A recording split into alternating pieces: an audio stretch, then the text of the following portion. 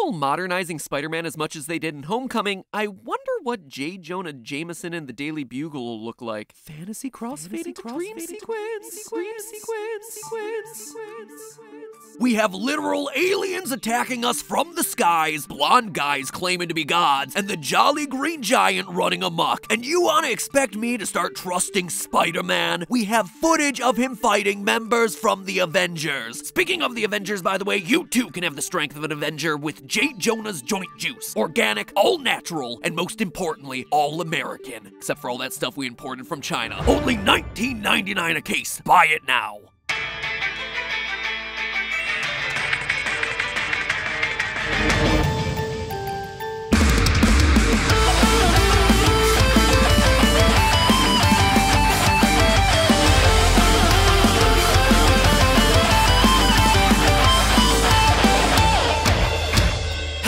Internet! Welcome to Game Theory, where, let's be honest, in the world of Marvel, conspiracy theory shows like ours would be huge! Between superhero billionaires, alien threats, and masked vigilantes, can you imagine the questions that would be running through everyone's heads? Who are these people? What are their goals? Am I, myself, in danger? And there we'd be, conspiracy theory. Every week, picking apart the evidence, revising our guesses, and ultimately trying to expose who these people are. It'd be like the purple guy mystery all over again, except in real life, and without all that messy serial killer nonsense. Sadly, I can't bring my dead memes and half-baked theories to the Marvel masses, but they get something even better. J. Jonah Jameson. You see, a few weeks ago I started looking into Spider-Man's iconic newspaper, the Daily Bugle, for a script, but then the new Spider-Man game came out, and now I just can't unhear J. Jonah screaming, He's a menace to the entire city! I want Spider-Man!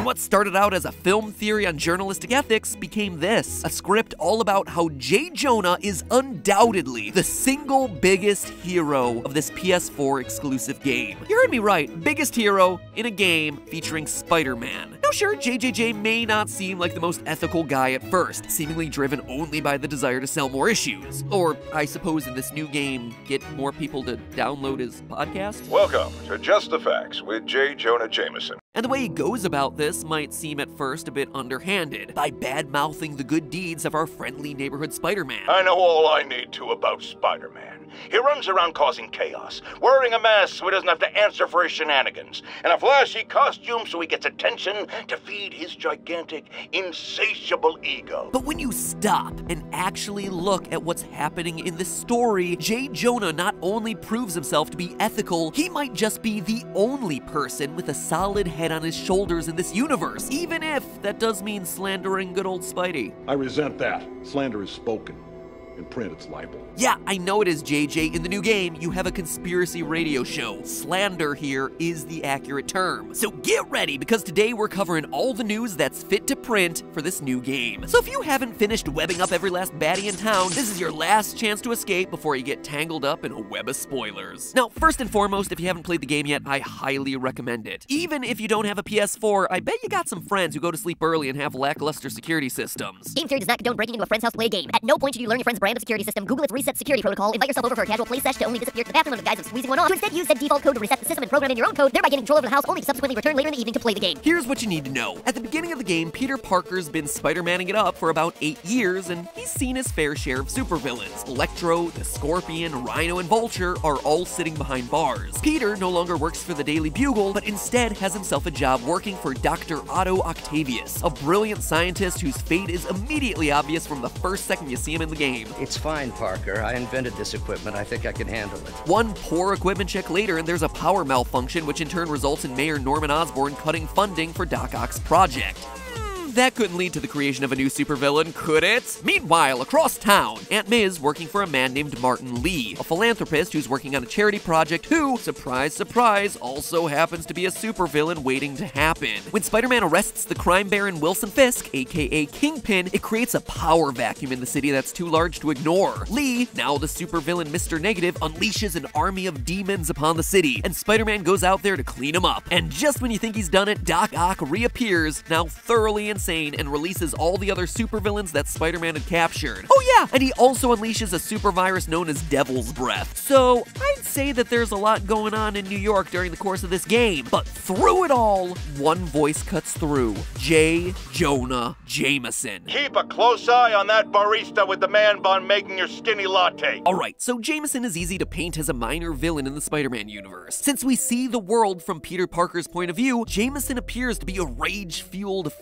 fearmongerer who's looking to sell more papers and get more listeners by spreading lies through his clickbaity stories and tinfoil hat anti-Spider-Man conspiracies. He clearly has a vendetta against the web slinger. Just imagine what sort of deviant personality would dress up like that in the first place. A webbed pervert walks among us! Meanwhile, in Spider-Man stories, and particularly in this game, we know that Spider-Man is good. We see his struggles and his tough moral choices. So Jameson taking pictures of him just to slander his good name is disgusting and exploitative and disingenuous, especially for someone who supposedly claims that he's a journalist with integrity and tells his audience that he reports the news. This is Just the Facts with J. Jonah Jameson, where listeners like you discuss the issues affecting our city with Pulitzer Prize winning Two-time! two-time Pulitzer Prize winning former publisher of the Daily Bugle. Hey, the book! But if we stop looking at the world from Spider Man's point of view and instead from an outsider looking in, Jameson isn't actually all that bad. Let's start by addressing Jameson's main claim that Spider Man is a villain. From our near omniscient worldview in these stories, Spider Man does seem like an obvious hero, saving people from fires, punching out bad guys, getting all romantic with the lady folk. We also know that he's just a young, nerdy kid with the best of intentions. But then look at this.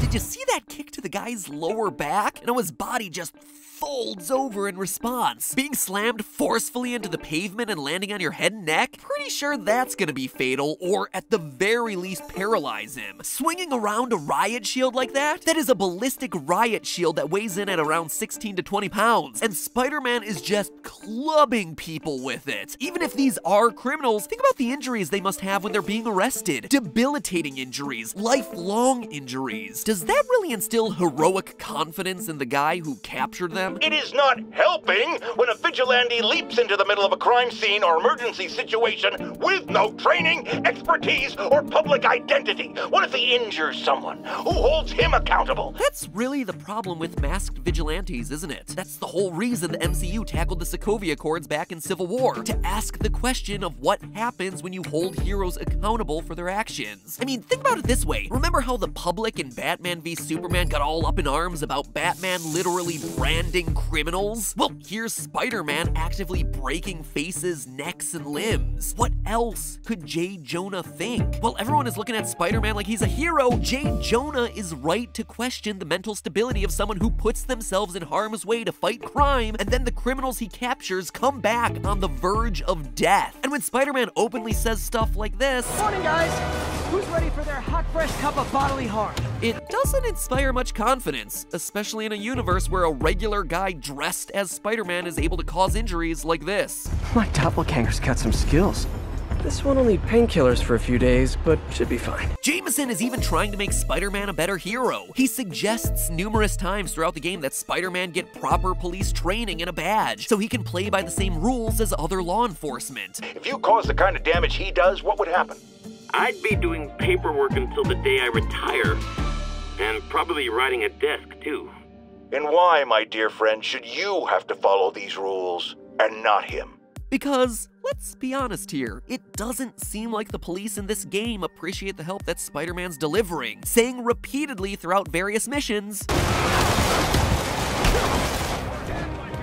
Speaking of not being a help to police, Spider-Man seems to be creating more problems than he's solving.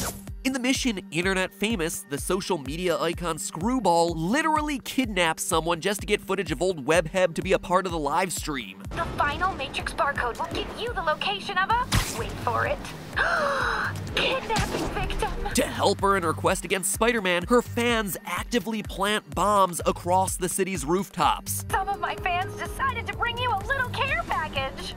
You might want want to grab those fast? People could get hurt. Then you have the Taskmaster, who's leaving all kinds of bombs and challenges around the city to test Peter. Can you stop the bombs I've planted? And even when Spider Man is trying to solve the city's issues, he's creating more problems than he's solving. For example, in the mission Under Pressure, one building's water pressure is too high, and it's up to Spider Man to pull a Bob the Builder and fix it. He tries by releasing a particular valve, but instead of solving the issue, it causes other water tanks around the city to burst. That shouldn't have happened. I better seal these fast before Jameson pins it on me. Um, excuse me? Why wouldn't Jameson pin it on you? You literally just caused it to happen. And what, pray tell, was the underlying cause this entire time? Oh, a clogged sewer. That's it. So what started as a simple issue in one building became a citywide problem thanks to Spider-Man. Which means that Jameson is entirely right when he claims on his radio show, He was seen earlier messing with a valve that only qualified workers are supposed to use. And that's without me even mentioning the fact that canonically Spider-Man's webbing only lasts for an hour, a fact which means that all those water tank patches he made with his webbing will be leaking in a matter of hours. Something that even he admits in the game. Last one. But those won't hold long. While many of the papers are quick to report on Spider-Man's successes, they often miss what Jameson is so quick to point out, that many of the issues that Spider-Man solves are caused by Spider-Man in the first place. But look at the big picture. Do you have these kind of crimes in Edina? Oh, certainly not. And do you have Spider-Man in Edina? No. And that is not a coincidence. No, it is certainly not a coincidence, JJ, because for as ridiculous as the game tries to make J. Jonah's anti Spider Man rants, literally everything that happens in this game is a direct result of Spider Man's actions. Spider Man taking down crime lord Wilson Fisk at the top of the game is exactly what Martin Lee was waiting for to enact his plan against the city. As Lee writes in his own journal, quote, Wilson Fisk has been arrested. I can barely believe it. The day I've planned for, dreamed of, is finally here. And what began as a bunch of common mob thugs working for the Kingpin suddenly gets replaced by Mr. Negative's legion of superpowered demon people. And honestly, it shouldn't be all that surprising. History has shown time and again that an upheaval of organized crime can result in periods of extreme and deadly violence. For example, following the death of Pablo Escobar, the richest criminal in history, a Colombian drug lord whose cartel supplied nearly 80% of the cocaine smuggled into the United States, giving him a net worth of 50 billion dollars, Colombia descended into a period of chaos. Attorney Peter Vincent described the situation, quote, Every time a major leader, or any sort of transnational criminal organization gets taken out of the game, there's a vacuum that's created, and nature abhors a vacuum. There were literally hundreds of dead bodies as individuals tried through sheer force of power and murder to establish their bona fides as the next generation of leaders, end quote. It's something that Fisk knows, Idiots! I'm the one who kept order in this city. it's something that J. Jonah knows, We're gonna have a gang war in the streets, but does that whip-headed moron give a damn? Of course not. It's something that anyone who's interested in taking a part in law enforcement in a major city should know, but Spider Man? Nah, he's out there to solve the crimes, not deal with the messy political ramifications that come as a result of it. J. Jonah might not realize it, but Spider Man is also at fault for unleashing Dr. Octopus. Peter Parker helps Dr. Octavius invent this incredibly dangerous prosthetic that doesn't show up to work on time, Sorry I'm late. resulting in its catastrophic failure and Otto's loss of funding. The grant agreement you signed has strict safety provisions. This isn't your first violation. And why was Peter late? Oh yeah, because he was too busy Spider-Manning it up, which creates both Mr. Negative, Doc Ock, and the rest of the city's supervillains set free. Now, even if Jameson might have a point about Spider-Man being a threat, you could argue that Jameson is still biased, and you wouldn't be wrong there. But interestingly enough, the Society of Professional Journalists Code of Ethics doesn't strictly abhor bias, so long as it's properly disclosed. A secret agenda would be misleading the public, like say if Jameson were actually being paid by Oscorp to dehumanize Spider-Man, but he's clearly not. I realize Norman Osborn claimed he was stepping back from running Oscorp when he was elected, but has he? Or is he using his office, his public trust, to enrich himself beyond imagining? Has his greed endangered us all? He even goes through great lengths to distance himself from Osborn when Osborn comes on just the facts. Well, that's my job, Mr. Mayor. All I have is my integrity, and I won't compromise it for anyone. Jameson even goes through great lengths to disclose other biases he might have, such as reporting about Scorpion. I want to address the matter of the Scorpion. I paid for the procedure that empowered him. It's not my fault the treatments drove him crazy. It's that ivory tower elite scientist, he didn't take proper precaution. And true to his journalistic integrity, Jameson will even admit when Spider Man does something right. I'm not saying he never does anything good. I'm saying he causes more problems than he solves. Which means that Jameson is doing his journalistic diligence. In fact, he's the only one standing up for the common people of New York. When Mayor Osborn calls in Sable, a private security firm that jails innocent civilians and takes militaristic control over the city, Come on! Demons and escaped prisoners on the loose, you're arresting protesters? J. Jonah is there to call them out. He's the one giving the voice to the voiceless by making the public aware of these issues. They pointed their guns at me, ran me off like a criminal. Caller, this is deeply disturbing to me. I promise you, I'll bring it to the attention of the proper authorities. Emergencies do not permit the suspension of human rights. The game makes Triple J here seem like a conspiracy theory crackpot, but if you stop and look at his actions, he's an incredibly stabilizing figure for New York, a calming voice in times of actual crisis, even if that calming voice is shouting at the top of his lungs. I know times are hard and we are all struggling, but if you see someone who needs help, do what you can. We must pull together or fall apart.